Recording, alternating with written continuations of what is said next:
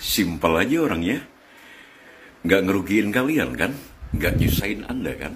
Salam sehat untuk kalian semuanya.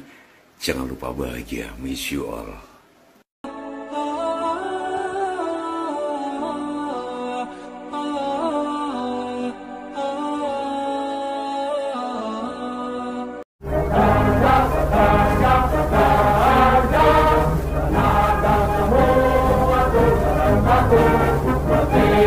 Yahweh.